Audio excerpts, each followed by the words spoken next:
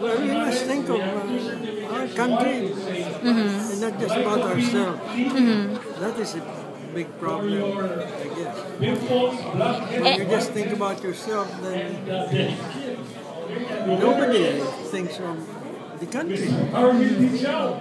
Concentrating on anti-corruption, which is good. It's very necessary.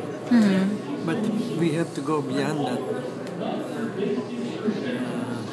Uh, I hope, well, he can get uh, the economy going much faster in the years to come.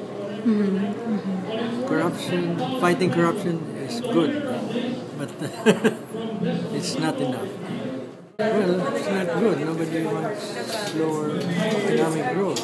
We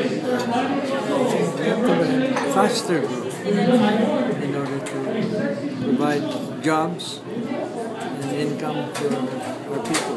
Mm-hmm. Okay.